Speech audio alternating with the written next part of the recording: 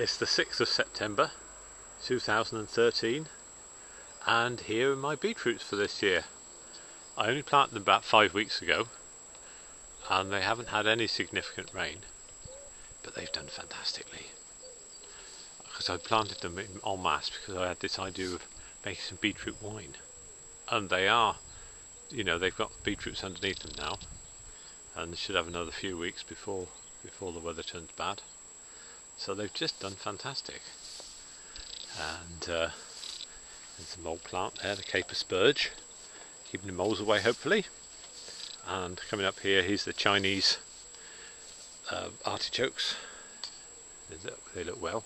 I had a little dig the other day to see whether there are any, any there, but they're not. Uh, they won't be ready yet for at least a month, I don't think. Borage here. These are the borage which um, left. Bees are enjoying them. Even in the daylight today, there's bees on there. One honeybee and one bumblebee. They really get on that borage. Right, just getting rather excited about the beetroots. But they're really going, aren't they? Right, bye for now.